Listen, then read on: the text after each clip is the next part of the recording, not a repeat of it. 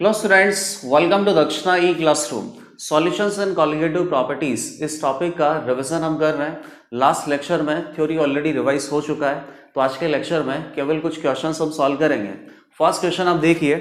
The vapour pressure of the solution of two liquid A and B is found to be 100 mm Hg when xi is equal to 0.4 the result shows that A और B दो liquid का एक binary solution आपको दे रखा है। इसके बारे में डेटा गिवन है और ये आइडेंटिफाई करना है कि ये बाइनरी सॉल्यूशन आइडियल बिहेवियर को शो करता है या पॉजिटिव डेविएशन शो करता है या नेगेटिव डेविएशन शो करता है। तो इन्फॉर्मेशन अपने पास क्या है? दो वॉलेटाइल लिक्विड है।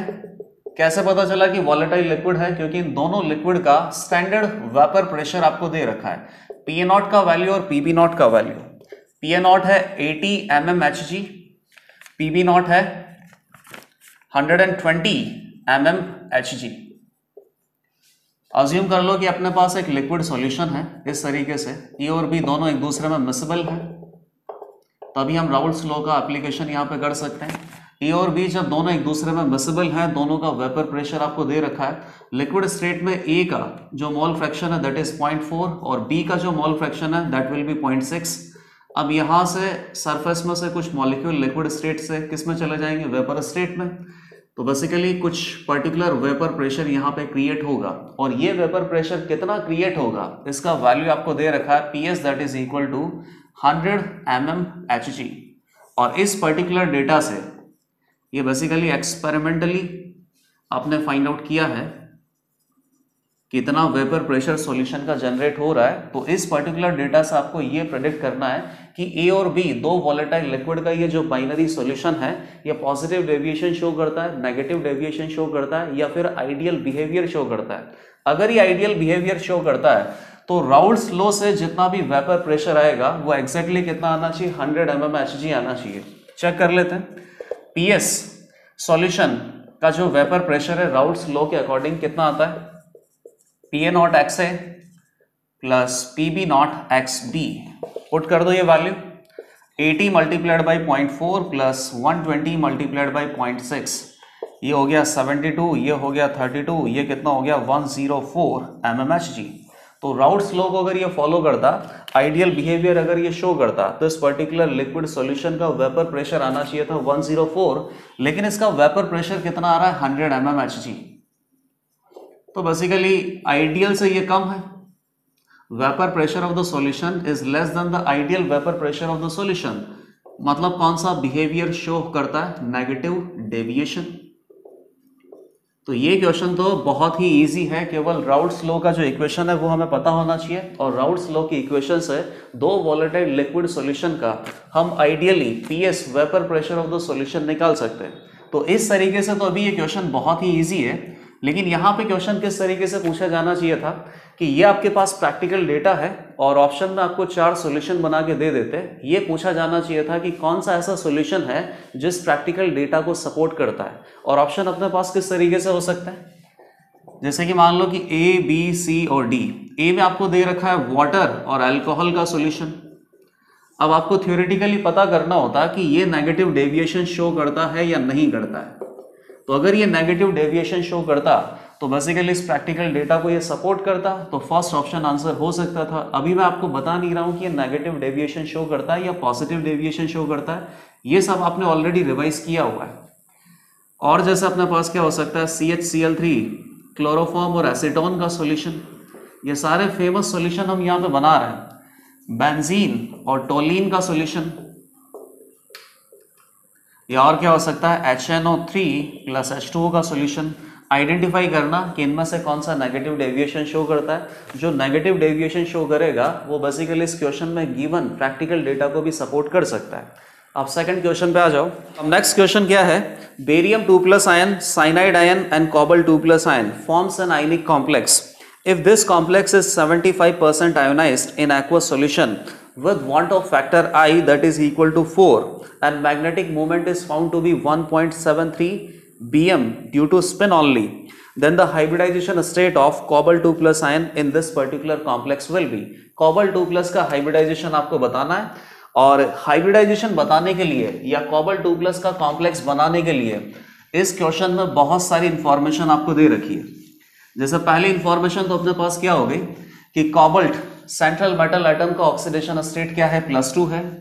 यहाँ पे नंबर ऑफ़ अनपेड इलेक्ट्रॉन कितना होगा? वन क्योंकि वन अनपेड इलेक्ट्रॉन के लिए जो मैग्नेटिक मूवमेंट है, वो कितना आ सकता है? Under root N into N plus two that is equal to one point seven three आ सकता है तो यहीं से आप इस तरीके से इंफॉर्मेशन इकट्ठा करोगे और कॉबल टू प्लस का जो भी आइनिक कॉम्प्लेक्स है, उसका फॉर्मेशन कर लेते हैं। आइनिक कॉम्प्लेक्स का फॉर्मेशन करने के बाद उसका हाइब्रिडाइजेशन स्टेट हम कैलकुलेट कर पाएँगे।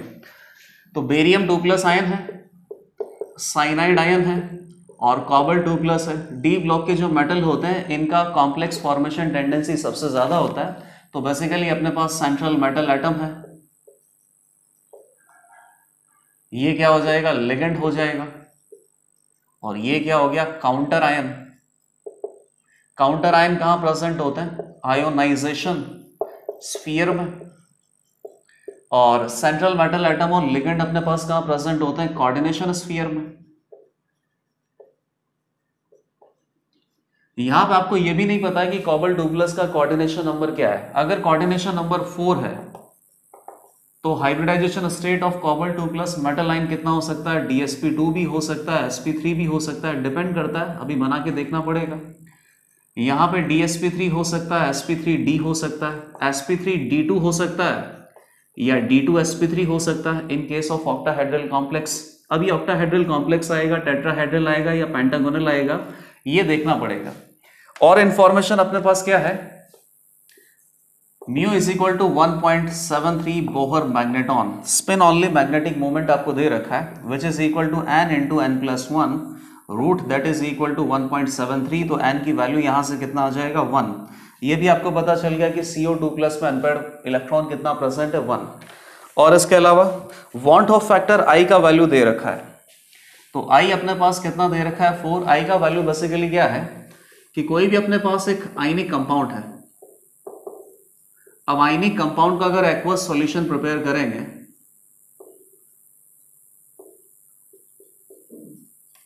तो क्या होगा? आयनिक कंपाउंड बेसिकली डिसोशिएट होकर कैटाइन और एनाइन का फॉर्मेशन करेगा। इनिशियली अगर इसके नंबर ऑफ़ मोल कम थे तो आफ्टर डिसोशिएशन यहाँ पे नंबर ऑफ़ पार्टिकल या number of moles of particle increase हो जाएँगे। तो आई की वैल्यू बेसिकली क्या होती है? नंबर ऑफ़ पार्टिकल्स पार्टिकल चाहे कोई भी हो कैटाइन कोई भी हो एनाइन कोई भी हो, बड़ा कैटाइन हो, छोटा कैटाइन हो, इससे कोई मतलब नहीं है। नंबर ऑफ़ पार्टिकल से हमें मतलब है।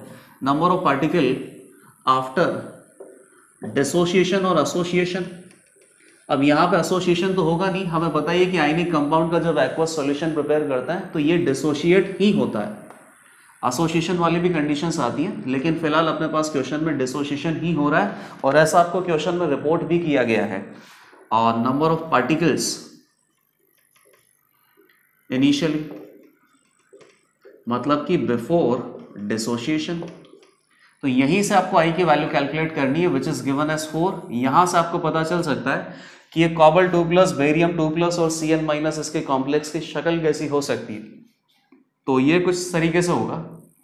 जैसे मान लो कोई भी अपने पास कॉम्प्लेक्स है बेरियम कॉबल्ट साइनाइड पता नहीं यहाँ पे कितना लगाना है, जैसे कि कोऑर्डिनेशन नंबर कितना हो सकता है।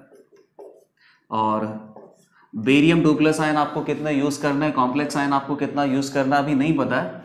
लेकिन जब इसका एक्वस सॉल्यूशन प्रिपेयर करेंगे तो एक्वस सॉल्यूशन प्रिपेयर करने के बाद आपको क्या मिलेगा? बेरियम टू प्लस आयन मिलेंगे। कितने मिलेंगे?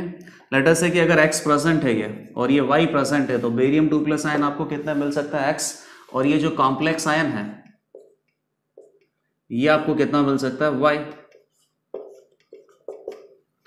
बेसिकली वन मोल से आपको टोटल कितने आयंस मिल सकते हैं? एन आयंस मैं अज्यूम कर रहा हूँ। एक्स प्लस वाई अभी यहाँ पे नहीं लिख रहे हैं। सिर्फ़ मैंने इतना अज्यूम किया है कि आयनिक कॉम्प्लेक्स के एक मोल से डिसोसिएशन के बाद एन आयंस या एन पार्टिकल्स हमें मिल सकते हैं। इसी से आपको बताना होगा कि इसका ये जो डिग्री ऑफ़ डिसोसिएशन है सॉरी इसका जो वॉन्ट ऑफ़ फैक्टर आई है, ये फोर किस तरीके से आ पाएगा? वॉन्ट ऑफ़ फैक्टर फोर है और 75 परसेंट आयोनाइज है। तो बताइए वन मोल ऑफ़ पार्टिकल से अगर आप एन मोल ऑफ़ पार्टिकल मिलता है तो उस केस में आई का क्या फॉर्मूला बनता है? One plus N minus one alpha divided by one आप चाहें तो यहाँ से डेराइव भी कर सकते हैं। कैसे? इसका वन मोल है तो इसका ज़ीरो मोल है। डिसोशिएशन के बाद वन में से अगर मान लीजिए कि अल्फ़ा मोल यहाँ से डिसोशिएट होते हैं तो अल्फ़ा मोल डिसोशिएट हो रहे हैं। इनिशियली मोल आपको कितने दे रखे हैं? One alpha divided by one यहाँ से डिग्री ऑफ़ डिसोसिएशन भी अल्फ़ा ही आएगा। तो इसके कितने मोल बन जाएँगे? N alpha time T equal to equilibrium पे total number of mole of particle कितना हो गया? One minus alpha plus N alpha तो ये तो अपने पास टोटल नंबर ऑफ़ पार्टिकल है after dissociation initially total number of particle कितना था? वन यही अपने पास आई का फॉर्मूला होता है which is equal to four वैसे हमें ये फॉर्मूला याद है और इस फॉर्मूले को हम डायरेक्ट ही यूटिलाइजेशन कर रहे हैं। यहाँ से आपको पता चल जाएगा कि ये जो अपने पास कॉबल्ट का कॉम्प्लेक्स है, इसका एक मोल एक्वस सॉल्यूशन में कितने मोल्स में डिसोशिएट होता है। तो आई की वैल्यू अपने पास कितनी है? Four one plus N minus one alpha कितना है? सेवेंटी फाइव परसेंट डिसोशिएट होता है। तो अल्फ़ा हो गया पॉइंट सेवन फाइव ये हो गया three N minus one into three by four तो N minus one that is equal to four N is equal to five तो one mole of complex one mole of complex का जब aqueous solution prepare करेंगे तो आपको क्या मिलना चाहिए? Five mole of ions total cation और एनाइन को मिला के फाइव मोल ऑफ़ आयंस यहाँ पे मिलने चाहिए। अब इसी इंफॉर्मेशन से आपको गैस करना है कि ये जो अपने पास कोऑर्डिनेशन कॉम्प्लेक्स है, ये कोऑर्डिनेशन कॉम्प्लेक्स का स्ट्रक्चर कैसा हो सकता है? तो फाइनली अब स्ट्रक्चर हम बना देते हैं। कोऑर्डिनेशन कॉम्प्लेक्स है cobalt two plus barium two plus और साइनाइड आइन से मिलकर बनाना है। लेटेस्ट है कि मान लो कि इसका कोऑर्डिनेशन नंबर कितना आ गया? फोर तो कॉबल टू प्लस है और साइनाइड आयन है। फोर अगर इसका कोऑर्डिनेशन नंबर बनेगा तो ये अपने पास क्या हो जाएगा? एनाइनिक स्फीयर हो जाएगा, या फिर इसको क्या बोलेंगे? कोऑर्डिनेशन स्फीयर एनाइनिक पार्ट है। यहाँ पे आपको टू माइनस लगाना पड़ेगा, तभी कॉबल टू प्लस हो सकता है। अगर यहाँ टू माइनस लगा दिया तो counter ion B A two plus आपको कितना यूज़ करना पड़ेगा? एक। और जब इसका एक्वस सॉल्यूशन प्रिपेयर होगा तो एक कैटाइन मिलेगा, एक एनाइन मिलेगा टोटल एन इक्वल टू अपने पास कितना आ गया? टू आंसर गलत है।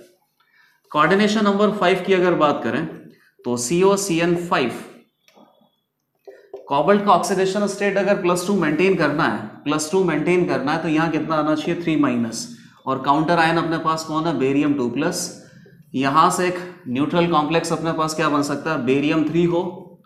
और ये जो कोऑर्डिनेशन में एनाइनिक पार्ट है, ये कितना आ जाए अपने पास? टू और इसका अगर एक मोल एक्वस सॉल्यूशन में डिसोशिएट होगा तो थ्री तो आपको कैटाइन मिलेंगे और टू एनाइन मिलेंगे।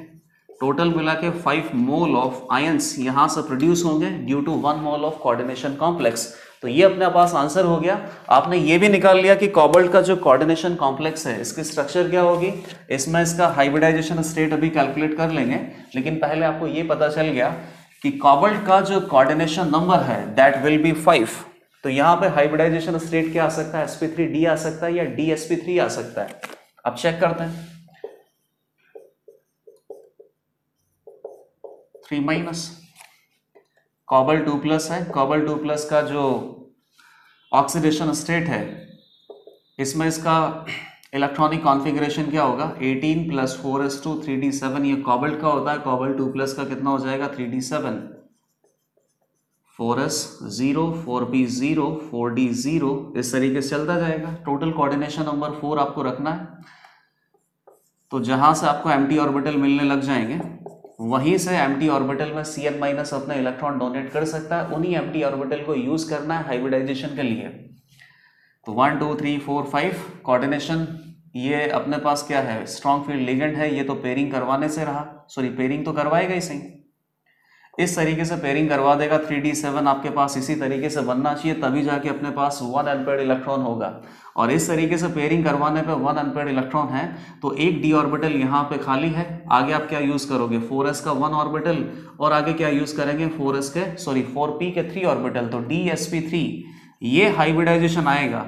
और यहाँ पे एक ही अनपेड इलेक्ट्रॉन है, ये हमें कैसे पता चला? मैग्नेटिक मूवमेंट से। तो हर किसी इंफॉर्मेशन को आपने यूटिलाइज किया, इसी के बाद ही आंसर आ सकता है। तो यहाँ पे कॉबल्ट टू प्लस का ये जो कोऑर्डिनेशन कॉम्प्लेक्स है, इसमें कॉबल्ट का हाइब्रिडाइजेशन स्टेट आ गया डीएसपी थ्री अब नेक्स्ट क्वेश्चन पे आ जाओ। नेक्स्ट क्वेश्चन में आपको क्या दे रखा है? ऑस्मोटिक प्रेशर इन एटीएम ये आपसे पूछा है, और सॉल्यूशन है 0.1 molar solution of K4FeCN6 which undergoes 50% dissociation at 27 degree centigrade तो बहुत ही इजी क्वेश्चन है। एक कोऑर्डिनेशन कॉम्प्लेक्स का एक्वस सॉल्यूशन बना के दे रखा है। और इस एक्वस सॉल्यूशन में ऑस्मोटिक प्रेशर हमसे पूछा है। ऑस्मोटिक प्रेशर का क्या फॉर्मूला होता है? Pi equal to I C R T I की वैल्यू फाइंड आउट करनी होगी। कॉन्सेंट्रेशन आपको दे रखा है और टेम्परेचर भी गिवन है। Question number three pi equal to I C R T ये ऑस्मोटिक प्रेशर का फॉर्मूला आपको यूज़ करना है। K four C N six sorry K four F E C N six इसका एक्वस सॉल्यूशन जब हम प्रिपेयर करेंगे तो ये डिसोशिएट होने के बाद क्या बना देगा? K plus four K plus plus F E C N six two minus four cation plus one anion point one molar ये सॉल्यूशन है कॉन्सेंट्रेशन आपके पास गिवन है अंडरगोज फिफ्टी परसेंट डिसोशिएशन अगर फुल डिसोशिएशन होता तो वन मोल dissociate होने से आपको क्या मिलता है? Total five mole of particle मिलते हैं। इनमें से फोर मोल कैटाइन है वन मोल एनाइन है। लेकिन फ़िलहाल आपको दे रखा है कि 50 परसेंट डिसोशिएशन है। टेम्परेचर गिवन है 27 डिग्री सेंटीग्रेड वैल्यू आपको बताना है ऑस्मोटिक प्रेशर पाई तो pi is equal to I C R T I की वैल्यू अभी फाइंड आउट करेंगे। वॉन्ट ऑफ़ फैक्टर आई का value multiplied by concentration of this particular solution तो K four F C N six solution का concentration आपको कितना given है? Point one molar multiplied by R का वैल्यू कितना होता है? Point zero eight two one multiplied by temperature that is three hundred और ये सीधा अपने आंसर किसमें आता है? एटीएम में ही आएगा। केवल आई का वैल्यू आप सही से सब्सिट्यूट कर दो। तो आई की वैल्यू बेसिकली क्या होगी? One plus N minus one alpha divided by one यही होता है डिसोसिएशन के लिए। I is equal to one plus N क्या होता है? One mole of this compound is dissociating into how many moles of compound एक मोल जितने मोल में डिसोशिएट हो रहा है, वही अपने पास एन का वैल्यू होता है। तो इसका एक mole four mole cation plus one mole of anion total five mole में डिसोशिएट हो रहा है तो एन का वैल्यू अपने पास हो गया five minus one multiplied by alpha degree of dissociation है fifty percent point five I is equal to one plus four into point five three I की वैल्यू आपने कैलकुलेट कर ली। आई का वैल्यू यहाँ पर सब्सटीट्यूट कर दो तो ये आंसर अपने पास कितना आएगा? 300 hundred multiplied by point zero eight two one ये होता है 24.6 अभी कितना हो गया? 2.46 और 2.46 multiplied by three three into two six six plus one seven seven point three eight ATM ये अपने पास इस पर्टिकुलर आइनिक कॉम्प्लेक्स का जो एक्वा सॉल्यूशन प्रिपेयर करेंगे, इस एक्वा सॉल्यूशन का ऑस्मोटिक प्रेशर आएगा। अब नेक्स्ट क्वेश्चन देखिए. In an ideal mixture of liquid A and liquid B mole fraction of A is point two five if P A not and P B not ratio is equal to seven by three how many repeated distillation would be required as a minimum to obtain a small quantity of distillate which has a mole fraction of A better than point eight तो basically अपने पास ए और B का ये जो mixture दे रखा है इस मिक्सचर में ए का जो मोल फ्रैक्शन है लिक्विड स्टेट में, अभी कितना है? पॉइंट टू फाइव अब इसके कितने रिपीटेड डिस्टिलेशन आपको करने होंगे? रिपीटेड डिस्टिलेशन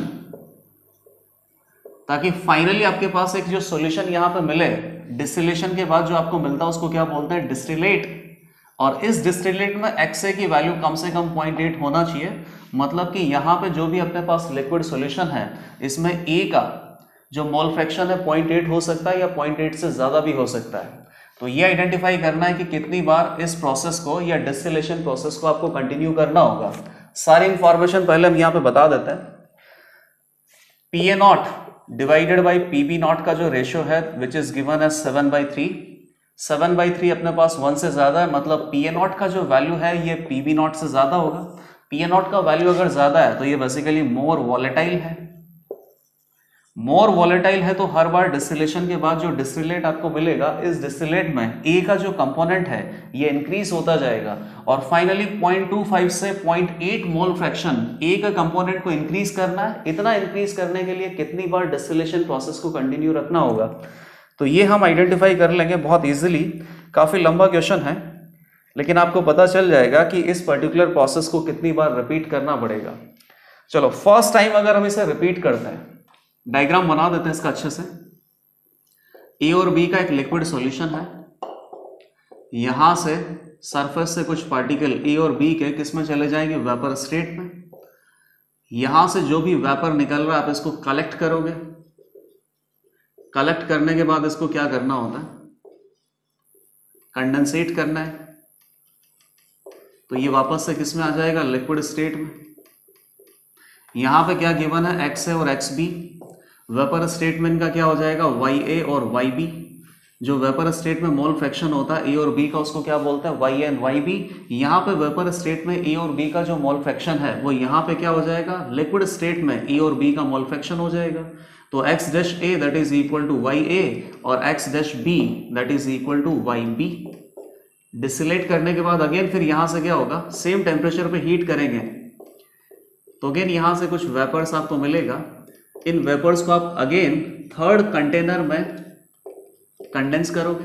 कंडेंस करने पे यहाँ पे अज्यूम कर लेते हैं कि जो भी अपने पास वेपर बना है, इस वेपर का ए और बी में जो मोल फ्रैक्शन है Y A dash Y B dash which is equal to something तो यहाँ पे जो वाई ए डैश है और वाई बी डैश की वैल्यू है. थर्ड कंटेनर में वो लिक्विड स्टेट में मोल फ्रैक्शन का वैल्यू हो जाएगा.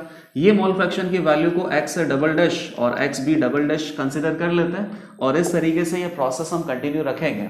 तो फ़र्स्ट स्टेट के बाद या फ़र्स्ट डिस्टिलेशन के बाद, इधर इस पर्टिकुलर डिस्टिलेट में ए और बी का मॉल फ्रैक्शन कितना आएगा, ये हम चेक कर लेते हैं.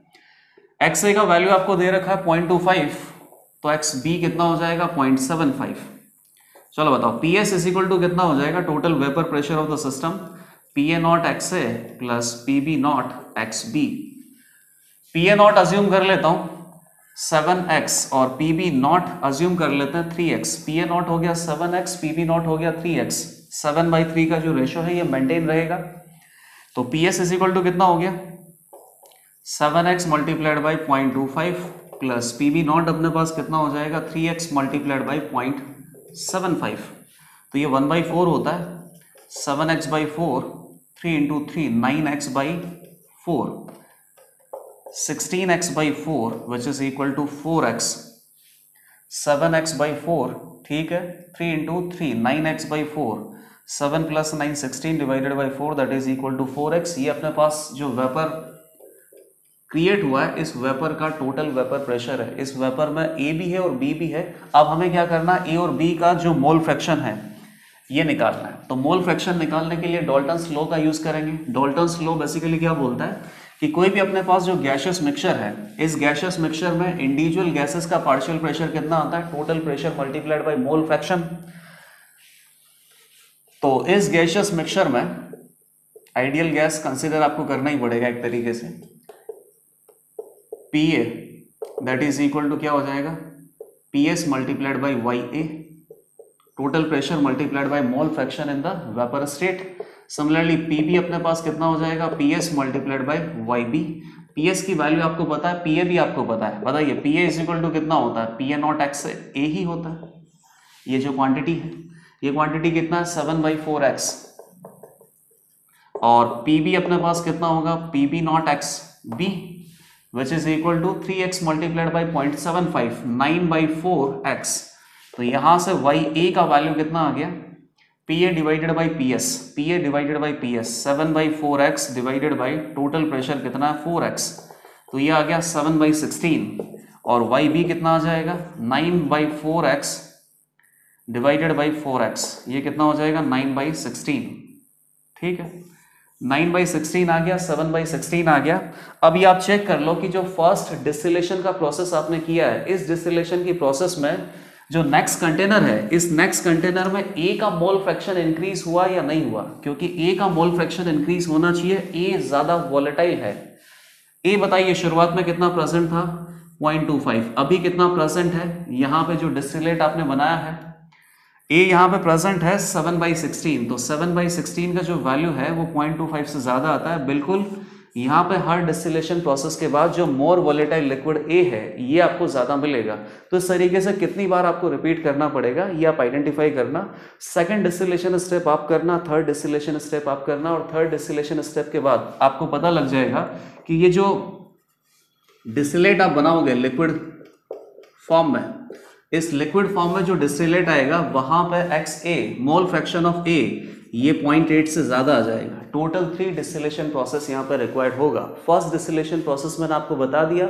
सेकंड आपको करना है थर्ड आपको करना है। अब नेक्स्ट क्वेश्चन पे आ जाओ।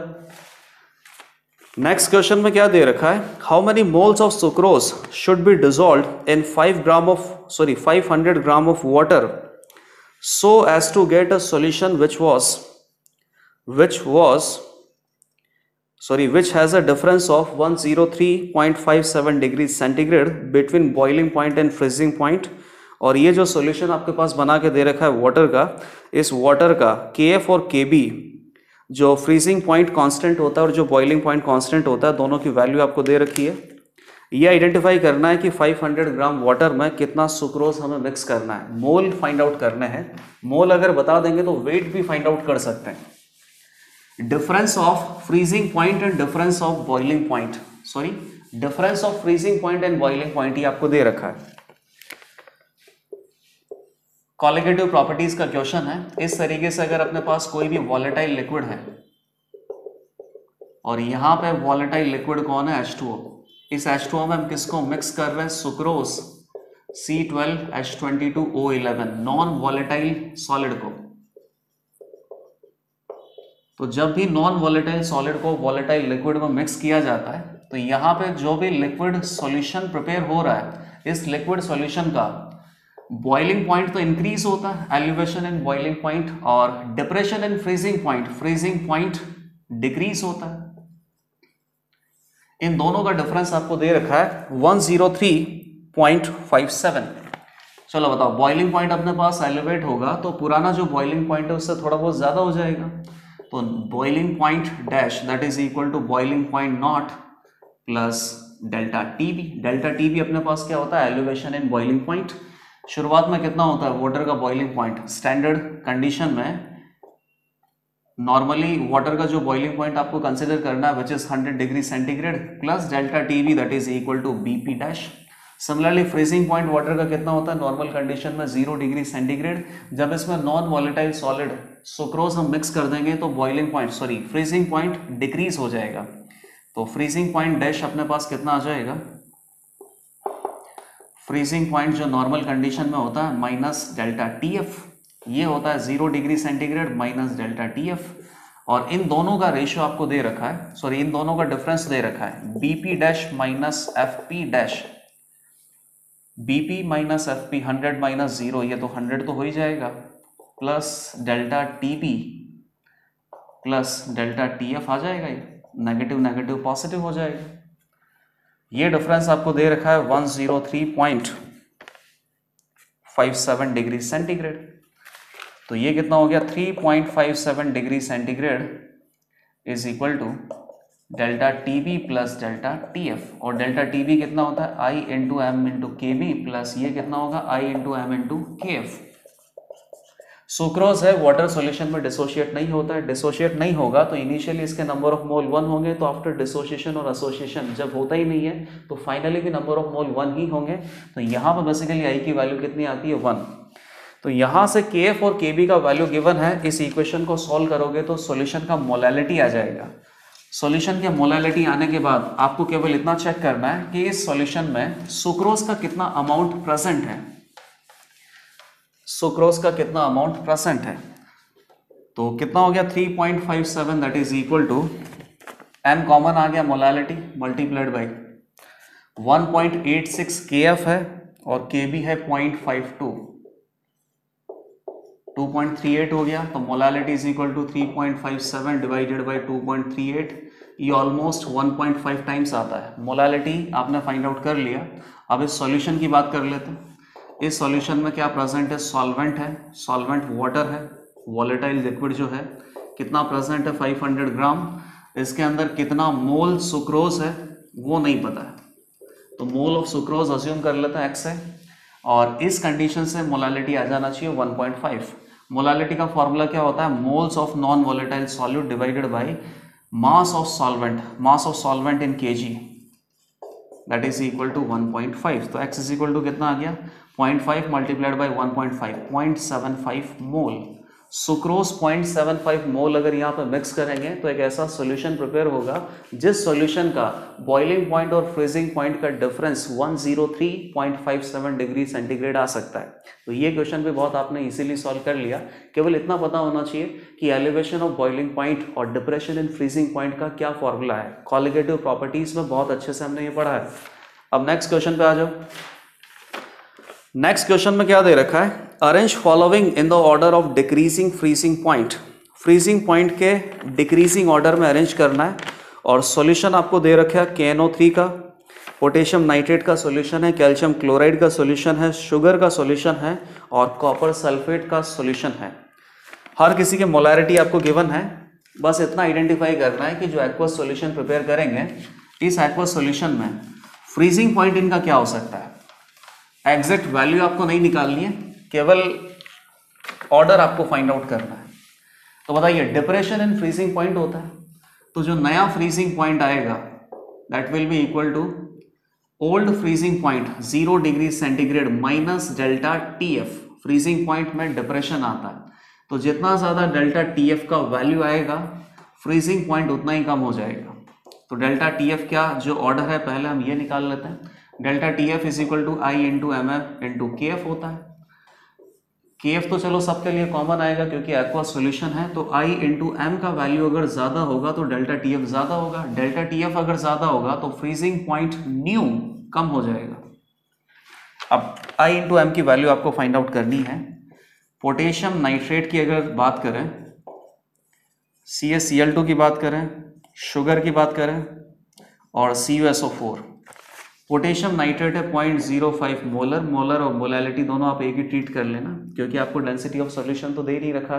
डेंसिटी ऑफ़ सॉल्यूशन अगर दिया जाता तो मोलैरिटी को मोलैलिटी में चेंज कर सकते थे। फ़िलहाल आप point zero five molar solution ही अज्यूम कर लो, क्योंकि एग्जैक्ट वैल्यू नहीं निकालना है ऑर्डर ही निकालना है। सिमिलरली ये कितना दे रखा है? Point four molar, point one four zero molar, और ये दे रखा है point zero seven five molar.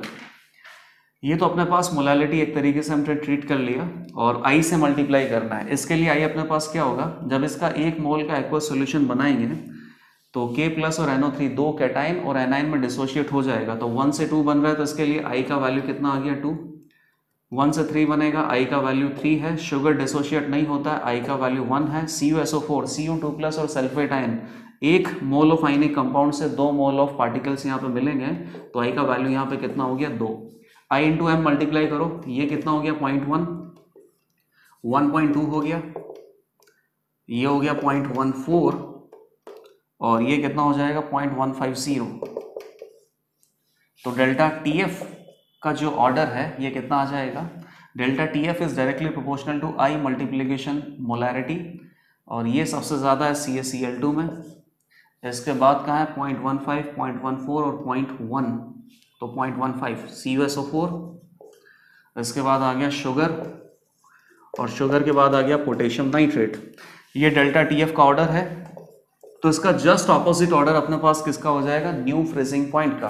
New freezing point कितना होता है? Old freezing point zero degree centigrade minus depression in freezing point तो डिप्रेशन इन फ्रीजिंग पॉइंट की वैल्यू अगर ज़्यादा होगी तो न्यू फ्रीजिंग पॉइंट अपने पास कम आएगा। डेल्टा टी एफ़ का जो भी ऑर्डर आपने कैलकुलेट किया है, उस ऑर्डर का एग्जैक्टली ऑपोजिट कर देना, वो अपने पास एक्वा सोल्यूशन के फ्रीजिंग पॉइंट का ऑर्डर आ जाएगा। अब नेक्स्ट क्वेश्चन पे आ जाओ। A solution of x mole of sucrose in 100 gram of water freezes at minus 0.20 degree centigrade. Minus 2.0 sorry minus point two zero degree centigrade तो water में अगर सॉल्यूशन प्रिपेयर करेंगे किसी भी नॉन वॉलेटाइल सॉल्यूट का तो वाटर का जो नॉर्मल फ्रीजिंग पॉइंट होता है ज़ीरो डिग्री सेंटीग्रेड इससे फ्रीजिंग पॉइंट डिप्रेशन हो जाएगा और फ्रीजिंग पॉइंट डिप्रेशन होने के बाद माइनस में चला जाता है एक्वस सॉल्यूशन का जो फ्रीजिंग पॉइंट है। और कितना माइनस में चला गया? Minus point two degree centigrade solution किसका प्रिपेयर कर रहे हैं? सुक्रोज इंसर्ट कर रहे हैं हंड्रेड ग्राम ऑफ़ वाटर में। ठीक है? इसके बाद क्या बोला? As ice separate out freezing point goes down to 0.25 degree centigrade how many grams of ice would have separated out अब ये क्या करेंगे यहाँ पे? इसको थोड़ा और ठंडा करेंगे। ठंडा करने पे इसका जो फ्रीजिंग पॉइंट है वो कितना चला गया? Minus two point sorry minus point two five degree centigrade तो इस पर्टिकुलर फ्रीजिंग पॉइंट पे यहाँ पे क्या होगा? इस सॉल्यूशन में सुक्रोज प्रेजेंट है और वाटर प्रेजेंट है। तो वाटर के जो मॉलिक्यूल हैं, जो लिक्विड स्टेट में प्रेजेंट है यहाँ पे बेसिकली थोड़ा सॉलिड में चेंज हो जाएगा और थोड़ा बहुत सॉलिड बन के आइस बन के वाटर यहाँ से सेपरेट हो गया। अब अपने पास कुछ एक्वस सॉल्यूशन ही बचा है। इस एक्वस सॉल्यूशन में कौन प्रेजेंट है? सुक्रोज प्रेजेंट है और वाटर प्रेजेंट है। तो आपको ये आइडेंटिफाई करना है कि जब इसका freezing point minus point two five degree centigrade तक डिप्रेस हो जाता है, तब बेसिकली इस एक्वस सॉल्यूशन में कितने ग्राम वाटर है? इनिशियली आपको 100 ग्राम वाटर दे रखा है। तो फ़र्स्ट सिचुएशन से आप बताइए delta T F that is equal to I into M into K F ये आपको दे रखा है। डेल्टा टी एफ़ का वैल्यू कितना हो गया? Minus point two degree centigrade sorry ये तो फ्रीजिंग पॉइंट है तो delta T F depression in freezing point कितना हो जाएगा? पॉइंट टू मैग्नीट्यूड की बात करो। आई की वैल्यू हो जाएगी वन मोलैलिटी अपने पास कितना हो जाएगा? जितना भी आपने इसमें सुक्रोस मिक्स कर रखा है सुक्रोस कितना मिक्स है? एक्स मोल का। तो X mole divided by mass of solvent in K G point one kilogram ये मोलालिटी हो गया सुक्रोस सॉल्यूशन का मल्टीप्लाइड बाय के एफ़ ठीक है। अगली बार जब आपने इसको और ज़्यादा ठंडा कर दिया तो इसका फ्रीजिंग पॉइंट चला गया minus point two five degree centigrade पे, और तब यहाँ से कुछ वाटर मॉलिक्यूल सॉलिड बन के एज अ आइस बन के सेपरेट आउट हो गए। तो अब यहाँ पे जो वाटर लिक्विड स्टेट में प्रेजेंट है, उसका अमाउंट कम हो गया। डेल्टा टी एफ़ का वैल्यू आ गया point two five that is equal to I की वैल्यू है one X mole of solute है। सॉल्यूट तो एक्स मोल अभी भी यहाँ पे डिजोल्व है, जो भी अपने पास एक्वा सॉल्यूशन है। और यहाँ पे लेटेस्ट है कि डब्लू ग्राम वाटर है, और डब्लू ग्राम वाटर में आपको थाउज़ेंड ग्राम का डिवाइड करना होगा, तभी जाके मास ऑफ़ सॉल्वेंट इन के आएगा मल्टीप्लाइड बाई के एफ़ ये दोनों सिचुएशन दे रखी है के एफ़ का वैल्यू आपके पास नहीं है। तो इन दोनों सिचुएशन को डिवाइड करना पड़ेगा, ताकि के एफ़ से के एफ़ कैंसिल आउट हो जाए। कितना हो गया ये? Twenty divided by twenty five दोनों को डिवाइड करेंगे तो। एक्स एक्स चला गया। यहाँ पे पॉइंट वन के जी है। थाउज़ेंड ऊपर चला गया।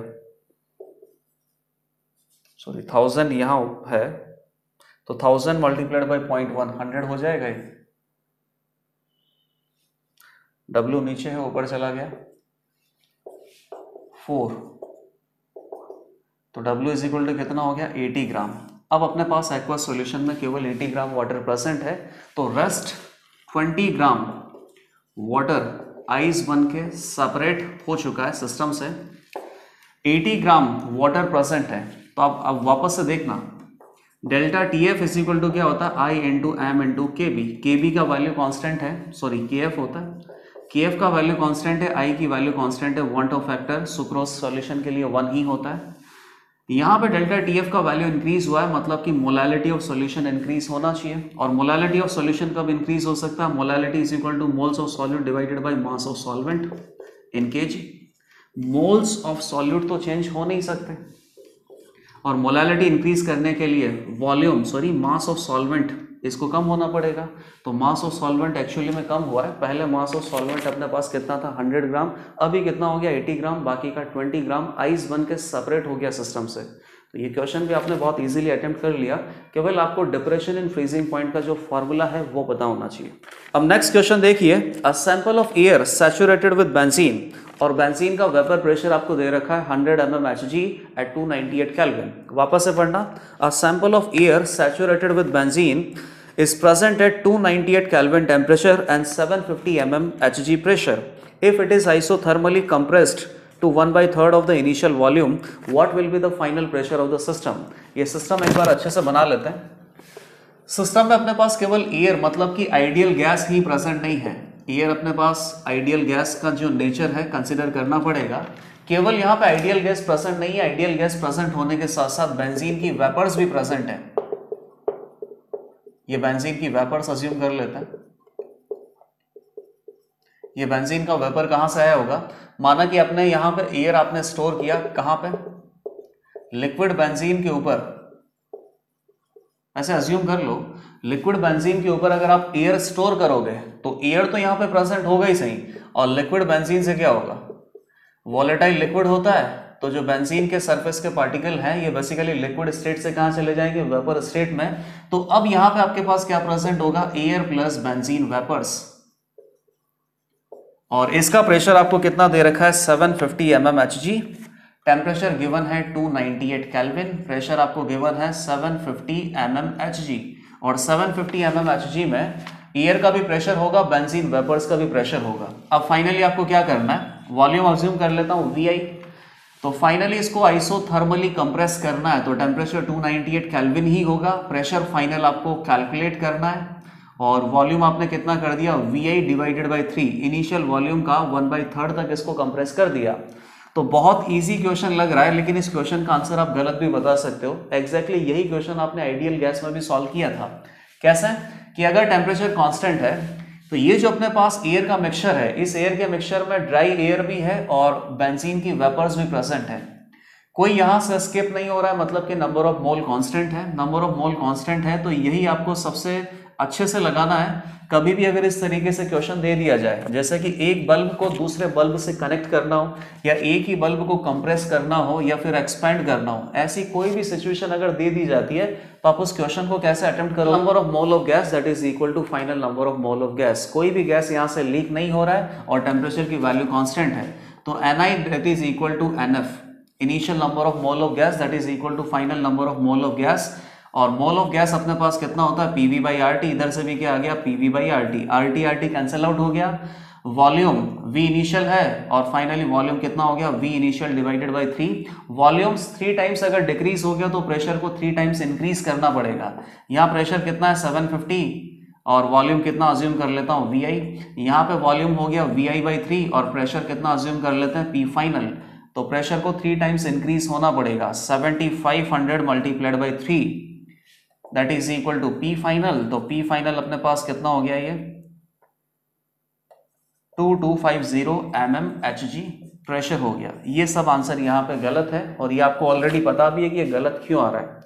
ये जो आपने लॉ लगाया ना, ये केवल किसके लिए वैलिड होता है? आइडियल गैस के लिए। आइडियल गैस मतलब कि किसकी बात कर रहे हैं? ड्राई गैस ड्राई गैस मतलब क्या हो गया? एयर एयर के लिए आप ये लॉ लगा दो। लॉ लगा के आप ये भी कैलकुलेट कर सकते हो कि वॉल्यूम अगर वन बाई थ्री तक आप कंप्रेस कर रहे हो तो इसका प्रेशर कितना हो जाएगा? थ्री टाइम्स हो जाएगा। लेकिन ये बेसिकली इस पर मत लगा देना जो बेंजीन की वेपर्स यहाँ पे प्रेजेंट है। वेपर्स के बारे में आपको पता है कि वेपर्स केवल एक ही बात पर डिपेंड करता है टेम्परेचर पर अगर टेम्परेचर इंक्रीज होगा तो नंबर ऑफ़ वेपर्स इंक्रीज हो सकता है। नंबर ऑफ़ वेपर्स इंक्रीज होने से वेपर प्रेशर इंक्रीज हो सकता है। लेकिन यहाँ पर टेम्परेचर कॉन्स्टेंट दे रखा है। तो ये जो वेपर्स हैं बेंजीन की वेपर्स इनका जो प्रेशर है, ये कांस्टेंट ही होगा। चाहे इनिशियल सिचुएशन हो, चाहे फाइनल सिचुएशन हो, लेकिन बेंजीन का जो वेपर प्रेशर है, ये कांस्टेंट ही होगा। तो बेंजीन के वेपर प्रेशर को हटा के ड्राई एयर का प्रेशर आपको निकालना पड़ेगा। ड्राई एयर को आइडियल गैस अज्यूम करना पड़ेगा। आइडियल गैस अज्यूम करने के बाद ये आपको सॉल्व करना पड़ेगा। इससे क्या पता चल जाएगा? ड्राई एयर का फाइनल प्रेशर अब ड्राई एयर के फाइनल प्रेशर में बेंजीन वेपर्स का प्रेशर वापस ऐड करो, क्योंकि बेंजीन वेपर कहीं गया तो है नहीं। इसी कंटेनर में अभी भी बेंजीन वेपर प्रेजेंट है। तो ड्राई एयर के फाइनल प्रेशर में बेंजीन वेपर का प्रेशर आप ऐड करो, तब जाके इस सैचुरेटेड एयर का सैचुरेटेड विद बेंजीन वेपर्स इस सैचुरेटेड एयर का फाइनल प्रेशर हम कैलकुलेट कर सकते हैं। लेकिन कंप्लीटली ये जो आइडियल गैस का लॉ है, ये पूरा सैचुरेटेड एयर पे मत लगा देना। ये केवल आपको किस पे लगाना है? ड्राई एयर पे। तो बताओ बेंजीन वेपर्स का प्रेशर आपको कितना दे रखा है? C six H six gas ये आपको दे रखा है hundred M M H G और टोटल प्रेशर कितना है? सेवन फिफ्टी तो सेवन फिफ्टी में से हंड्रेड हटा दो। तो प्रेशर ऑफ़ ड्राई गैस ये कितना आ जाएगा? Six fifty M M H G number of mole constant है टेम्परेचर कांस्टेंट है तो P one V one that is equal to P two V two volume अगर आप डिक्रीज करोगे, या P V is equal to constant ही होगा। कहीं से भी देख लो, इधर से देख लो, इधर से देख लो आंसर सेम ही आना। है P V equal to N R T होता है। N constant T constant R constant that means P V is equal to constant और पी और वी का मल्टीप्लीकेशन कॉन्स्टेंट रखने के लिए अगर वी आपने डिक्रीज किया है तो प्रेशर को इंक्रीज करना पड़ेगा। वॉल्यूम थ्री टाइम डिक्रीज किया है तो प्रेशर थ्री टाइम इंक्रीज हो जाएगा। तो प्रेशर ऑफ़ ड्राई गैस ये कितना हो जाएगा? 650 fifty multiplied by three that is equal to 1950 M M H G और प्रेशर ऑफ़ सैचुरेटेड एयर कितना हो जाएगा? जितना ड्राई गैस का है प्लस जितना वेपर्स का है तो ये आ जाएगा twenty fifty M M H G और एग्जैक्टली सेम क्वेश्चन आपने आइडियल गैस में भी कर रखा है तो वापस से वही क्वेश्चन यहाँ पे रिपीट करवाए, क्योंकि इससे आपके कंसेप्ट थोड़े से क्लियर रहेंगे। आइडियल गैस के लो, केवल ड्राई गैस पे ही आपको लगाना है। किसी भी वॉलेटाइल लिक्विड का जो वेपर बनता है ना, इस वेपर पे आइडियल गैस के लो, आपको अप्लाई नहीं करना है। और जो भी वेपर यहाँ पे बन रहा है वेपर कम बनेगा या ज़्यादा बनेगा, ये केवल किस पे डिपेंड करता है? टेम्परेचर पर प्रेशर और वॉल्यूम इस सब पे डिपेंड नहीं करता है। अब नेक्स्ट क्वेश्चन पे आ जाओ। नेक्स्ट क्वेश्चन में क्या है? ए और B forms ideal solution at 50 degree centigrade P A naught is half of P B naught A solution containing 0.2 mole of A and 0.8 mole of B has a normal boiling point of 50 degree centigrade. What is 18 times PB naught? A और B का एक binary solution आपको दे रखा है। और ये basically ideal solution है तो राउल्ट्स लॉ को फॉलो करेगा। P A naught P B naught का वैल्यू आपको दे रखा है। और लिक्विड स्टेट में जो इनका मोल फ्रैक्शन है ए और बी का, ये भी गिवन है। नॉर्मल बॉइलिंग पॉइंट अगर इनका 50 डिग्री सेंटीग्रेड है तो आपको ये आइडेंटिफाई करना है कि 18 multiplied by P B naught कितना होगा। तो यहाँ से केवल आपको इतना समझना है कि अगर इसका normal boiling point 50 degree centigrade दे रखा है तो बताइए बॉइलिंग पॉइंट कब आता है? बॉइलिंग पॉइंट किसी भी लिक्विड का कब आता है? ये लिक्विड अपने पास प्रेजेंट है। इस तरीके से दिखा देता हूँ लिक्विड को। लिक्विड में जो सरफेस के पार्टिकल हैं, ये बेसिकली इक्विलिब्रियम एस्टेब्लिश होता है वेपर फेस के साथ। तो इक्विलिब्रियम पे जब आप इन वेपर्स का प्रेशर कैलकुलेट करते हो तो उसको क्या बोलते हैं? वेपर प्रेशर यहाँ पे आप अज्यूम कर लो एक्सटर्नल प्रेशर जब यहाँ से ये जो वेपर प्रेशर क्रिएट हो रहा है वेपर प्रेशर जो क्रिएट हो रहा है, अगर ये एक्सटर्नल प्रेशर के बराबर हो जाता है तो ये जो सॉल्यूशन है ना ये सॉल्यूशन बॉईल करने लग जाएगा। बॉइलिंग की कंडीशन आ जाएगी। जब सॉल्यूशन बॉईल करने लग जाएगा तो उस टेम्परेचर को क्या बोलेंगे? बॉइलिंग पॉइंट तो ये आपको ऑलरेडी पता है कि किसी भी सॉल्यूशन का वेपर प्रेशर अगर एक्सटर्नल प्रेशर के साथ मैच कर गया एक्सटर्नल प्रेशर को इक्वलाइज कर गया तो सॉल्यूशन बॉइल करने लग जाता है बॉइलिंग पॉइंट आ जाता है। तो बताइए नॉर्मल बॉइलिंग पॉइंट का मतलब क्या हो गया? कि एक्सटर्नल प्रेशर कितना हो? 760 sixty M M H G या इसको और क्या बोलेंगे? 1 एटीएम प्रेशर हो। तो बेसिकली नॉर्मल बॉइलिंग पॉइंट अगर 50 डिग्री सेंटीग्रेड है तो 50 डिग्री सेंटीग्रेड पे ये जो सॉल्यूशन आपको दे रखा है, इस सॉल्यूशन का वेपर प्रेशर कितना हो जाना चाहिए? वन एटीएम अब जो सिचुएशन है वो यूटिलाइज कर लेते हैं। सिचुएशन क्या है? X A is equal to point two mole A है पॉइंट एट मोल बी है। तो टोटल कितना हो गया? One mole point two divided by one mole fraction कितना आ जाएगा? पॉइंट टू ही आ जाएगा। और बी का मोल फ्रैक्शन पॉइंट एट ही आ जाएगा। पी ए नॉट और पी बी नॉट में क्या रिलेशनशिप दे रखा है? P A naught is half of P B naught तो पी बी नॉट का हाफ़ कर दो which is equal to P A naught चलो बताओ P S is equal to क्या होगा? ए टी एम में कैलकुलेट कर लेते हैं। ए टी एम में ही आपसे यहाँ पूछा है पी बी नॉट की वैल्यू तो वन ए टी एम होना चाहिए। अगर 50 डिग्री सेंटीग्रेड पे नॉर्मली ये बॉईल करने लग जाता है तो उस समय पे जो सॉल्यूशन का वेपर प्रेशर है, वो एक्सटर्नल प्रेशर वन ए के इक्वलाइज होगा। One A T M is equal to P A naught X है P A naught X A X A कितना? और P B naught X B और पी बी नॉट के term में आपको answer चाहिए पी ए नॉट यहाँ से हटा दो तो P A naught is equal to P B naught divided by two put कर देते हैं। तो ये कितना हो गया? Point one point one plus point eight point nine हो गया। One divided by point nine that is equal to P B naught और eighteen multiplied by P B naught is equal to eighteen multiplied by P B naught कितना होता है? ये twenty times यहाँ से निकल लेगा तो ट्वेंटी आंसर आ गया। बहुत इजीली आंसर आ गया। केवल आपको इस क्वेश्चन से इतना ही समझना था कि normal boiling point 50 degree centigrade है तो 50 डिग्री सेंटीग्रेड पे यहाँ पे जो सॉल्यूशन का वेपर प्रेशर है, ये vapour pressure external pressure 1 ATM के इक्वल होना चाहिए। नेक्स्ट क्वेश्चन पे आ जाओ। अब नेक्स्ट क्वेश्चन आपको क्या दे रखा है? और यही क्वेश्चन सबसे डिफ़िकल्ट है। ये क्वेश्चन मैंने क्लास में आपको एक बार करवाया भी था। क्वेश्चन में बेसिकली ए और बी का बाइनरी सॉल्यूशन आपने प्रिपेयर कर रखा है। और इस बाइनरी सॉल्यूशन के ऊपर जो एक्सटर्नल प्रेशर हम लगा देते हैं, उस एक्सटर्नल प्रेशर को लगातार डिक्रीज करेंगे। तो जब प्रेशर डिक्रीज होता जाएगा तो सॉल्यूशन में जो प्रेजेंट वेपर्स हैं, ये इंक्रीज होता जाएगा। तो आपको ये आइडेंटिफाई करना होगा कि कब फ़र्स्ट बबल फॉर्म होता है, कब लास्ट बबल सॉल्यूशन में लेफ़्ट होता है। यही सारे क्वेश्चन है total three to four parts हैं, और यही सबसे अच्छा क्वेश्चन है यहाँ पर पहले मैं डायग्राम बना देता हूँ क्वेश्चन हम बाद में रीड आउट करेंगे। A plus B liquid state में प्रेजेंट है।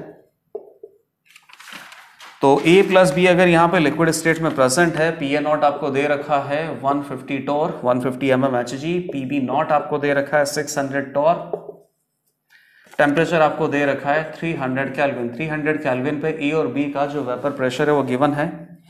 If pressure over the mixture at 300 kelvin is reduced to what pressure when the first bubble forms ठीक है, ये सारी चीज़ें हम करेंगे। लेकिन इसका हम डायग्राम बना लेते हैं एक बार। ए और बी जो लिक्विड स्टेट में प्रेजेंट है ए और बी के जो पार्टिकल हैं, ये बेसिकली वेपर स्टेट में जाने की कोशिश करेंगे तो यहाँ पे वेपर्स प्रेजेंट होगा। तो कोई पर्टिकुलर वेपर प्रेशर आएगा। और इस वेपर प्रेशर को क्या बोलेंगे? पीएस सॉल्यूशन का वेपर प्रेशर सॉल्यूशन का वेपर प्रेशर जब एक्सटर्नल प्रेशर के इक्वल हो जाता है तो ये सॉल्यूशन बॉइलिंग की कंडीशन में आ जाता है और उस टेम्परेचर को क्या बोलते हैं? बॉइलिंग पॉइंट अभी ऐसा कुछ भी नहीं दिया हुआ। केवल आपको इतना पता करना है कि प्रेशर हम कहाँ तक रिड्यूस करें ताकि यहाँ से फ़र्स्ट बबल का फॉर्मेशन हो। तो चलो एक ग्राफ बना देता हूँ मैं। ये ग्राफ सबसे इजी भी है और बहुत सही ग्राफ है बेसिकली ए अपने पास 150 टोर है तो यहाँ बेसिकली कितना आएगा? बी आएगा। एक्स ए की वैल्यू अगर आपने यहाँ पे पुट कर दिया ज़ीरो इस लिक्विड सॉल्यूशन के अंदर ए का मोल फ्रैक्शन अगर ज़ीरो है तो बेसिकली बी का मोल फ्रैक्शन कितना होगा? फुल होगा वन होगा। और जहाँ पे केवल बी ही प्रेजेंट है, वहाँ पे सॉल्यूशन का वेपर प्रेशर किसके बराबर होगा? बी के वेपर प्रेशर के बराबर। तो ये जो वैल्यू है, ये अपने पास कितना है? P B naught similarly A अगर प्रेजेंट है तो बी एबसेंट है. ए ही प्रेजेंट है तो सॉल्यूशन का वेपर प्रेशर ए के वेपर प्रेशर के बराबर होगा पी ए नॉट और आपको ऑलरेडी पता है कि P S is equal to क्या आता है? पी ए नॉट एक्स है plus P B naught X B linear equation है बेसिकली पुट करके देख लो. P A naught X A plus P B naught X B की जगह आप क्या पुट कर दो? वन माइनस एक्स ए तो P S is equal to कितना हो जाएगा? P B naught P B naught intercept से ही चालू करूँगा मैं अभी। और P A naught minus P B naught X A इसको अगर आप प्लॉट करोगे पी एस वर्सेस एक्स से ग्राफ अगर आप प्लॉट करोगे तो दोनों डायरेक्टली प्रोपोर्शनल है। जहाँ पर स्लोप अपने पास कितना आना चाहिए? P A naught minus P B naught और इंटरसेप्ट कितना आना चाहिए? पी बी नॉट तो ये ग्राफ क्या रिप्रेजेंट करता है? ध्यान से पढ़ना, ये ग्राफ क्या रिप्रेजेंट करता है? वेपर प्रेशर ऑफ़ सॉल्यूशन यही तो रिप्रेजेंट कर रहा है। इसी इक्वेशन का ग्राफ मैंने प्लॉट किया है वाई एक्सेस पे। Vapour pressure of solution versus composition in liquid state composition in liquid state X A के वर्सेस आपने ये ग्राफ रखा है। सिमिलरली एक और ग्राफ बनता है, वो ऐसा बनता है। हाइपरबोला टाइप बनता है, क्योंकि वो कहाँ से आता है? अगले इक्वेशन से। One upon P S that is equal to Y A divided by P A naught plus Y B divided by P B naught आप चाहो तो थोड़ा इसका और मॉडिफिकेशन कर सकते हो। One upon P S that is equal to Y A upon P A naught plus Y B को क्या लिख दो? One minus Y A divided by P B naught और मॉडिफिकेशन करोगे तो one upon P S that is equal to one upon P B naught plus Y A common आ जाएगा। One upon P A naught minus one upon P B naught और ये अपने पास कहाँ से आता है? ये ऑलरेडी हमने डिराइव कर रखा है। वन अपॉन पी एस का formula mole fraction of the vapours of A और बी इन वेपर स्टेट इसके रेस्पेक्ट में ये जब फॉर्मूला बन रहा है तो यहाँ पे आप अच्छे से देख लो। One upon P S is directly proportional to Y A P S is not directly proportional to Y है तो दोनों के बीच में कैसा कर्व आना चाहिए, कुछ हाइपरबोला टाइप का कर्व आएगा, और वो यहाँ से आपको दिख रहा है। आप देख लो वाई ए का वैल्यू अगर आपने ज़ीरो पुट कर दिया वाई ए ज़ीरो कब हो सकता है? जब अपने पास लिक्विड स्टेट में ए नहीं होगा तो वेपर में ए कहाँ से जाएगा? तो वाई ए ज़ीरो कब हो सकता है? जब ए ज़ीरो हो। ए अगर ज़ीरो है तो केवल बी ही होगा। और बी होगा तो पी एस का वैल्यू किसके इक्वल आएगा? पी बी नॉट के इक्वल आएगा। तो ये अपने पास कौन सा कर्व आ गया? Vapour pressure of the solution versus molar composition और बेसिकली मोल फ्रैक्शन में अपने पास कॉम्पोजिशन आता है इस कर्व से। Composition in vapour state vapour state या vapour pressure of solution versus composition in vapour state ये सब हटा देता हूँ, ये दोनों फॉर्मूले आपको पता है। इसके बाद इसके कंप्लीट डेरिवेशन पे हम आ जाएँगे। कंप्लीट डेरिवेशन क्या? टोटल फोर पार्ट्स है टोटल फोर पार्ट्स को हम अच्छे से डिस्कस करेंगे। आप ध्यान देना एक्सटर्नल प्रेशर की अगर मैं बात करूँ कि इस लिक्विड सॉल्यूशन के ऊपर एक्सटर्नल प्रेशर अगर आपने बहुत ज़्यादा इंक्रीज किया हुआ है तो एक्सटर्नल प्रेशर अगर बहुत ज़्यादा होगा तो यहाँ से जो लिक्विड स्टेट में ये पार्टिकल है, ये वेपर स्टेट में नहीं जा पाएँगे। वेपर स्टेट में नहीं जा पाएँगे मतलब कि all A and B completely liquid state में होगा। तो यही मैं बात कर रहा हूँ कि ऊपर से हम प्रेशर डिक्रीज करते हुए आ रहा है। ऊपर की अगर बात करें तो लिक्विड स्टेट में ही ए और बी प्रेजेंट है ऑल लिक्विड है। अभी तो वेपर बनना स्टार्ट ही नहीं हुआ। और जैसे ही आपने वेपर प्रेशर को डिक्रीज करते गए, यहाँ पे लिक्विड और गैस के बीच में इक्विलिब्रियम एस्टेब्लिश होता है और यहाँ केवल गैस मतलब कि वेपर स्टेट प्रेजेंट होता है। अगर आपने फाइनली एक्सटर्नल प्रेशर को बहुत ज़्यादा डिक्रीज कर दिया तो एक्सटर्नल प्रेशर अगर डिक्रीज हो जाएगा और वेपर प्रेशर अगर अपने पास ज़्यादा हो गया तो ये सारा का सारा किसमें चला जाएगा वेपर में और वो कंडीशन कौन सी आ जाएगी? बॉइलिंग बॉइलिंग फ़िलहाल हम यहाँ पे हैं। कि प्रेशर अगर बहुत ज़्यादा है तो ए और बी कंप्लीटली लिक्विड स्टेट में है। अभी कोई भी बबल का फॉर्मेशन नहीं हुआ है। और जैसे ही इस प्रेशर पे हम आएँगे, इस रीजन में आने की कोशिश करने लग गए। अब इस रीजन में जो फ़र्स्ट पॉइंट है, यहाँ पे क्या होगा? अब यहाँ पे बबल फॉर्मेशन स्टार्ट हो जाएगा, या वेपर फॉर्मेशन स्टार्ट होगा। तो वेपर फॉर्मेशन जब स्टार्ट होगा तो उसको हम क्या बोल रहे हैं बेसिकली बबल तो आपको क्या आइडेंटिफाई करना है? एक ऐसा प्रेशर जहाँ पे बबल फॉर्मेशन स्टार्ट होने लग जाता है तो ये प्रेशर अपने पास क्या आ गया? पी मैक्स और ये प्रेशर आप कहाँ से निकालोगे? Pressure of solution versus X A molar composition या mole fraction composition in liquid state ये स्ट्रेट लाइन वाला जो कर्व है, इसी की इक्वेशन से आप निकालोगे।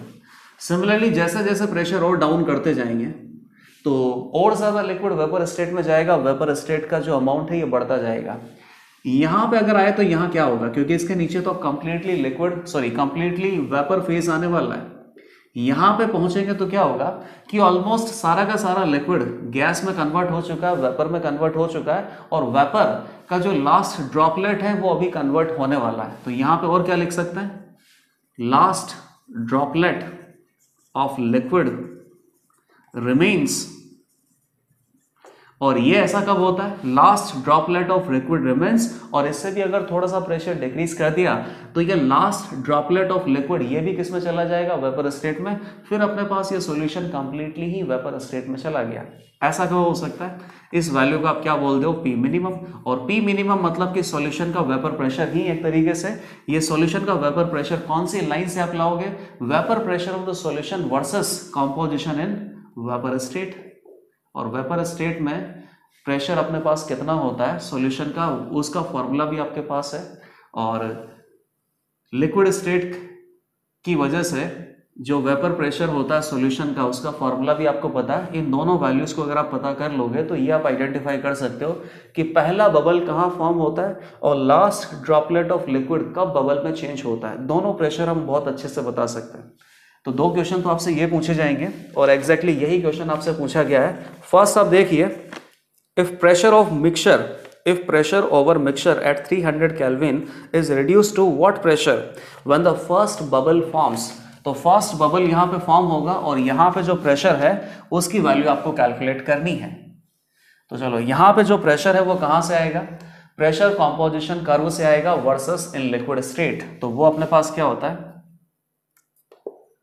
P S is equal to P A not X A plus P B not X B ये वैल्यू आपको निकालना है। पी ए नॉट कितना है? 150 है, ये 600 है। और एक्स ए कितना दे रखा है आपको? एक्स ए गिवन होगा ना? एक्स ए में अपने पास क्या? One mole of A and one mole of B दोनों ई मोलर है तो बेसिकली दोनों का मोल फ्रैक्शन कितना हो जाएगा? पॉइंट फाइव पॉइंट फाइव तो ये हो गया अपने पास सेवेंटी फाइव और ये हो गया थ्री हंड्रेड तो 375 सेवेंटी जी प्रेशर जैसे ही एक्सटर्नल प्रेशर आ जाएगा ना तो ये जो अपना लिक्विड है, इस लिक्विड का फ़र्स्ट बबल फॉर्म होने लग गया। अब नेक्स्ट आपसे क्या पूछा है? What is the composition of the first bubble ये जो बबल मतलब कि वेपर फॉर्म हुआ है, इस वेपर का कॉम्पोजिशन आपको निकालना है। तो उस ग्राफ से भी आप बता सकते हो, और चाहो तो मैथमेटिकली भी कैलकुलेट कर सकते हो। जो बबल यहाँ पे फॉर्म हो गया इस बबल को मैंने इसे इंडिकेट कर दिया बबल है। इस बबल का क्या मोल फ्रैक्शन है वेपर स्टेट में? तो बताइए वेपर स्टेट में अगर आपको मोल फ्रैक्शन निकालना है तो यहाँ से स्ट्रेट लाइन ड्रॉ करो और किस पे आना चाहिए? एग्जैक्टली सेम प्रेशर पे।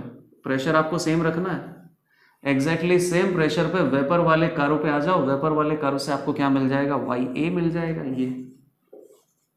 वाई ए की वैल्यू आ जाएगी तो वाई ए के रेस्पेक्ट में आप क्या बता दोगे? वाई बी भी बता दोगे। और अगर आपको मैथमेटिकली कैलकुलेट करना है तो वो तो बहुत ईजी है। डॉल्टन स्लो का आप यूज़ करो। अभी अपने पास पॉइंट फाइव पॉइंट फाइव है। फिर ये थोड़ा बहुत वेपर में जा रहा है। वेपर में आपको वाई ए निकालना है वाई बी निकालना है। प्रेशर आपको दे रखा है थ्री सेवेंटी फाइव चलो ठीक है। तो टोटल प्रेशर अपने पास 375 है। इसमें से ए का कंट्रीब्यूशन कितना है? 75 बी का कंट्रीब्यूशन कितना है? थ्री हंड्रेड तो partial pressure of A divided by total pressure which is equal to mole fraction in the gaseous component तो वाई ए अपने पास कितना आ जाएगा? 75 डिवाइडेड बाई 375 वाई बी अपने पास कितना आ जाएगा? 300 डिवाइडेड बाई 375 ये आपने यहाँ से भी सॉल्व कर लिया। आप चाहते तो इसको कहाँ से सॉल्व कर सकते थे? इस पर्टिकुलर ग्राफ से भी। एग्जैक्टली exactly इसी प्रेशर पे। इस प्रेशर पे आप क्या निकाल सकते हो? इस कर्व से अगर निकालोगे, ऐसे ड्रॉप करोगे, इस कर्व से निकालोगे तो क्या निकल के आएगा? Composition in liquid state X A निकल के आएगा। और सेम प्रेशर पे अगर आप इस कर्व से ड्रॉप करोगे तो क्या निकल के आएगा? वाई ए निकल के आएगा। वाई ए अगर आ गया तो वाई बी कितना हो जाएगा? वन माइनस वाई ए ये क्वेश्चन आप सॉल्व कर रहे हो। दो पार्ट तो अभी सॉल्व हो चुके हैं। अब नेक्स्ट पार्ट पे आ जाओ। नेक्स्ट पार्ट में इसमें क्या पूछा है? If the pressure is reduced further at what pressure does the last trace of liquid disappears composition of last drop आपको बताना है। तो प्रेशर अगर डिक्रीज करेंगे तो बेसिकली वेपर्स बनता जाएगा। अल्टीमेटली 99% नाइन परसेंट वेपर यहाँ पर क्रिएट हो चुका है। एक लास्ट ड्रॉपलेट बचा है। तो ऐसा कौन सा प्रेशर है जब लास्ट ड्रॉपलेट यहाँ पे लेफ़्ट होगा? वो ये प्रेशर है, क्योंकि इस प्रेशर से अगर आप नीचे और ड्रॉप कर देते हो तो कंप्लीटली वेपर में चले जाओगे। तो ये प्रेशर आपके पास कहाँ से आएगा? Pressure versus composition in the vapour state इस कर्व से आता है। ठीक है, चलो, इस कर्व का यूटिलाइजेशन करो। इस कर्व के लिए वेपर प्रेशर का वैल्यू क्या आता है? One upon P S that is equal to Y A one upon P A not और वाई बी और P B not Y A और वाई बी की वैल्यू आपको पता करनी है। तो बताओ, यहाँ से ड्रॉप करो, चाहे यहाँ से ड्रॉप करो, यहाँ से जब ड्रॉप कर रहा था तो एक्स ए और एक्स बी की वैल्यू अपने पास कितना है? वैसे एक्स ए का वैल्यू आएगा एक्स बी का वैल्यू क्या आएगा? ए के लिए ही अपने ये ग्राफ ड्रॉ किया ए ही यहाँ से इंक्रीजिंग में है। बी तो हम वैसे भी एक्स्ट्रा रखते हैं। ए यहाँ पे कितना है? एक्स ए की वैल्यू कितनी है? पॉइंट फाइव तो बेसिकली यहाँ से जब ड्रॉप करोगे तो वाई ए की वैल्यू भी कितनी है? पॉइंट फाइव ही तो है। तो वाई ए की वैल्यू अगर पॉइंट फाइव है तो वाई बी का वैल्यू कितना हो जाएगा? One minus Y A point five और ये कितना हो गया? 150 दे रखा है ये कितना दे रखा? है 600 तो one upon P S that is equal to one upon three hundred हो जाएगा। और ये हो जाएगा one upon two one upon twelve hundred हो जाएगा। Four five divided by twelve hundred that is equal to one upon P S तो P S का वैल्यू हो जाएगा twelve hundred divided by five two forty हो जाएगा। 240 forty जी pressure तक अगर एक्सटर्नल प्रेशर हमने रिड्यूस कर दिया तो यहाँ पर basically last droplet remains all of the liquid has been converted into vapour और अब ये लास्ट ड्रॉपलेट भी वेपर में कन्वर्ट होने वाला है। तो इस ड्रॉपलेट का बेसिकली आपको क्या पता है? मोलर कॉम्पोजिशन या मोल फ्रैक्शन में कॉम्पोजिशन पता है और वो कॉम्पोजिशन अपने पास कहाँ है? वेपर स्टेट का पता उसी कर्व से आ रहा है। और अगर इस ड्रॉपलेट का लिक्विड स्टेट में आपको कॉम्पोजिशन निकालना है तो एग्जैक्टली सेम प्रेशर पर स्ट्रेट लाइन ड्रॉ करो, इस तरीके से। ये थोड़ा। इस तरीके से स्ट्रेट लाइन ड्रॉ करोगे तो यहाँ पे कट करेगा, और जहाँ पे भी ये कट करेगा, वहाँ से आपके पास क्या आ जाएगा? उस पर मैच करना है ना सेम प्रेशर पे। तो इसको थोड़ा सा नीचे जाना पड़ेगा। ये इधर कट करेगा तो यहाँ से आपके पास क्या आ जाएगा? एक्स ए का वैल्यू आ जाएगा। एक्स ए का वैल्यू पता चल गया तो वाई सॉरी एक्स बी का वैल्यू भी आपको पता चल जाएगा। लेकिन हम फ़िलहाल देख लेते हैं कि एक्स ए का वैल्यू मैथमेटिकली कैसे आएगा। ये सब हटाओ। सॉल्यूशन का प्रेशर कितना आ गया? 240 आ गया। लास्ट ड्रॉपलेट पे। तो एक ड्रॉपलेट बना देता हूँ मैं यहाँ पे। ये ड्रॉपलेट है और ये वेपर में जाने वाला है। यहाँ पर एक्स है और वाई ए आपको निकालना है, लेकिन यहाँ पे वाई ए और वाई बी आपको पता है। और जो सॉल्यूशन क्रिएट है, यहाँ पे जो सॉल्यूशन है सॉल्यूशन का वेपर प्रेशर कितना आ रहा है? 240 ठीक है तो आंसर आ जाएगा। बताओ P A not X A plus P B not X B that is equal to P S P S की वैल्यू आपको पता है 240 P A not P B not का वैल्यू पता है, और एक्स ए का वैल्यू आपको नहीं पता है। तो यहाँ से एक्स ए का वैल्यू अपने पास कितना आ जाएगा? 240 that is equal to one fifty into X A plus P B not कितना है? 600 मल्टीप्लाइड बाई एक्स बी का वैल्यू कितना आ जाएगा? वन माइनस एक्स है। तो ये लिक्विड स्टेट में जो ड्रॉपलेट है, इस ड्रॉपलेट का कॉम्पोजिशन पता कर लिया। कितना हो जाएगा ये? 600 hundred minus two forty three sixty हो जाएगा ये। 150 और 600 हंड्रेड यहाँ से कितना हो जाएगा? 450 फिफ्टी एक्स ए तो एक्स ए का वैल्यू कितना हो गया? 360 sixty divided by four fifty five four four by five तो यहीं से अपने पास एक्स बी कितना हो जाएगा? One by five liquid state में जो ए लिक्विड है और जो बी लिक्विड है, इसका आपने मोल फ्रैक्शन पता कर लिया फोर बाई फाइव और वन बाई फाइव अब लास्ट क्वेश्चन है. लास्ट क्वेश्चन भी ये बहुत इंपॉर्टेंट है. इसके लिए कर्व की आपको ज़रूरत नहीं है. इस क्वेश्चन का फाइनल पार्ट आप देखिए. What will be the pressure when one mole of the liquid has been vaporised total two mole of liquid given है और इसमें से वन मोल ऑफ़ लिक्विड को वेपराइज करना है. तो जब ये one mole of liquid vaporise हो जाता है तो सॉल्यूशन का क्या वेपर प्रेशर है? पीएस आपको फाइंड आउट करना है। इनिशियली आपको क्या गिवन है? ए प्लस बी का लिक्विड सॉल्यूशन है। ये प्रेजेंट है वन मोल ये प्रेजेंट है वन मोल ए और बी के पार्टिकल वेपर स्टेट में जाएँगे। तो एक ऐसा प्रेशर आपको फाइंड आउट करना है? पीएस का वैल्यू जिस पर्टिकुलर प्रेशर पे one mole of the liquid has been vaporised तो ए बी लेट अस कि ए में से एक्स मोल अगर वेपराइज हुआ तो बी में ए का यहाँ पे ये लिक्विड स्टेट है और ये वेपर स्टेट है। वन मोल में से अगर एक्स मोल वेपराइज हुआ तो A X mole vapour state में चला गया और X mole A vapour state में है तो बी का कितना होना चाहिए? वन माइनस एक्स ताकि total mole of vapour must be equal to one vapours of A plus vapours of B that is equal to one mole इसके लिए बी का कितना वेपराइज होना पड़ेगा? One minus X one minus X अगर vaporise हो गया तो लेफ़्ट मोल कितने होंगे? One minus one minus X X mole of the B that has been left in the liquid state तो बेसिकली आपको ये पता चल गया कि वेपर स्टेट और लिक्विड स्टेट में जो ए लिक्विड है और बी लिक्विड है, इन दोनों का मोल फ्रैक्शन आपको पता है। केवल इतना फाइंड आउट करना है कि ये जो भी अपने पास कॉम्पोजिशन है, इस कॉम्पोजिशन के रेस्पेक्ट में सॉल्यूशन का वेपर प्रेशर क्या हो सकता है? ठीक है? तो P S is equal to क्या होता? है P A not X A plus P B not X B X A का वैल्यू कितना होगा?